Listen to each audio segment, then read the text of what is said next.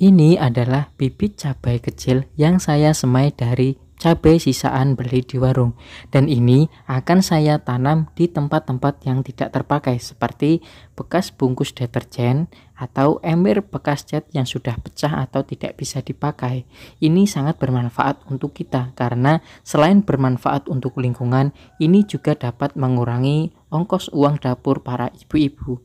Maka simak video ini. Assalamualaikum warahmatullahi wabarakatuh. Kembali lagi di channel Rohisfam Semoga teman-teman yang nonton video ini selalu diberi kesehatan Dimudahkan rezekinya dan dilancarkan aktivitasnya. Yang sedang nanam, yang sedang budidaya Semoga hasilnya bagus, panennya melimpah Dan bertemu dengan harga yang fantastis. Amin. Oke teman-teman ya. Kali ini kita akan uh, kembali memindahkan cabai ya ke polybag atau ke tempat media atau kali ini kita akan melakukan pindah tanam cabai dari warung yang akan kita tanam di tempat-tempat bekas seperti ini teman-teman. Pasti para ibu-ibu di rumah sangat e, mengenal ya tempat-tempat kayak gini ya. Ini tempat-tempat bekas yang mungkin tidak dimanfaatkan. Nah bisa kita manfaatkan sebagai media untuk menanam cabai oke? Okay? nah oke okay, teman-teman ya uh, ini adalah cabai uh, dari warung ya cabai lokal cabai kecil ya dari warung yang uh, dibeli di warung kemudian nggak sempet dimasak yang akhirnya agak membusuk. Kemudian uh, sebelum busuk kita kelupas dulu ya teman-teman. Kemudian kita jemur sampai agak kering baru nanti setelah itu kita uh, untuk semai. Nah, teman-teman yang pengen tahu cara nyemai yang benar itu seperti apa, bisa nonton di video saya sebelumnya ya, di playlist budidaya cabai ya, Anda di situ ya dari awal sampai akhir. Nah, sampai uh, ini menjelang uh, tanam ini, oke? Okay? Nah, ini yang pertama kita pakai itu adalah uh, kalau di sini kenalnya itu salume ya atau mungkin disebut tem, uh, tompo porte ya. Ini biasanya bekas dari orang genduren atau orang uh, yasinan mungkin yang tahu ya istilah-istilah itu. Nah ini bekas dari situ yang enggak kepake ya, saya isi media. Nah ini medianya itu tanah campur uh, kompos ya. Karena di tempat saya ini punya kandang kambing sendiri jadi di dekat kandang itu banyak tanah tanah-tanah hitam kayak gini teman-teman ya. Mungkin yang teman-teman nggak punya bisa cari di tempat lain atau cari di marketplace atau uh, mungkin bisa dengan hidroponik. Nah teman-teman Nah, untuk yang ini kita itu uh, apa saya itu pakai ini. Mungkin para bunda tahu lah ini ya, bapak-bapak juga tahu lah. Ini sabun deterjen Boom. Oke. Okay?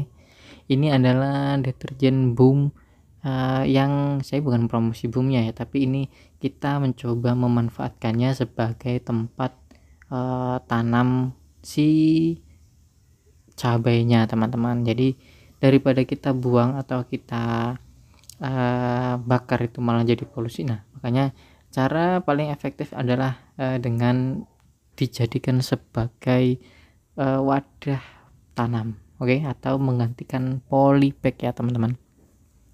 Yang penting uh, untuk pengolahannya pertama ya uh, kita pastikan dulu itu udah bersih dari sabun kemudian nanti kita bilas sampai benar-benar bersih. Nah oke seperti itu. Nah kalau yang sebelah sini ya yang pinggir sini ini adalah aduh ini ada yang mati malahan ya nanti saya gantilah. Nah ini me, uh, untuk untuk wadahnya itu yang ini itu dari uh, mungkin teman-teman yang atau para bunda yang pernah renov rumahnya. Nah ada tukang mungkin bawa kayak gini untuk wadah semen kayak gitu. Jadi ini untuk wadah adukan semen kayak gitu ya jadi bekas untuk adukan semen yang sudah mungkin pecah kan banyak kan biasanya. Kalau tukang apa ini kan biasanya dilempar-lempar kemudian uh, ada sebagian pecah kayak gitu. Oke jadi karena tadi ada yang uh, mati sekarang saya uh, coba ganti aja ya. Saya carikan dua ya teman-teman untuk di sebagai pengganti tadi yang mati. Oke kita langsung saja. Oke kita bersihkan sebelumnya terus tinggal aja untuk kita login nah teman-teman yang pengen tahu uh, apa namanya medianya ini ya. Ini medianya juga ada di video saya sebelumnya ya. Ini uh, cukup mudah buatnya ya. Uh, ini ya kalau kali ini ini saya banyakin uh, apa uh, apa namanya bekas padi ya teman-teman. Merang. Merang atau uh, uh, apa ya sebutannya kalau bahasa kotanya? Ya intinya bekas padi lah. Kalau di sini sebutnya uh, merang gitu ya.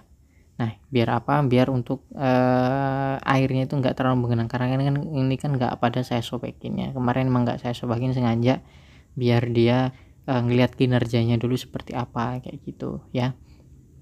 Jadi seperti itu ya teman-teman ya. Uh, untuk medianya itu juga ada di video saya sebelumnya ya. Untuk media tanamnya ini ya yang yang ini ya yang di uh, wadah deterjen dan juga di pot uh, atau di ember tadi. Nah kalau yang ini ya ini yang ini di polybag bekas juga ya teman-teman. Saya nggak pakai polybag baru karena aduh ini aja polybag udah lama dia masih bisa dipakai. Jadi biar nggak boros-boros ya atau biar nggak jadi sampah ya.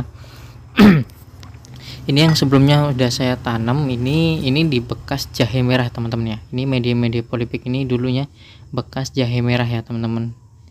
Ya ini udah tanam sebelumnya. Nah ini kemarinnya itu bekas jahe merah kayak gitu teman. Sebelumnya udah saya panen kemudian saya sisakan ini yang uh, ruas-ruasnya itu masih kecil-kecil dan masih sedikit.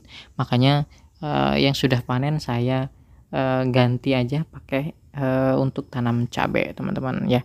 Jadi biar nggak begitu boros tempat lah ya.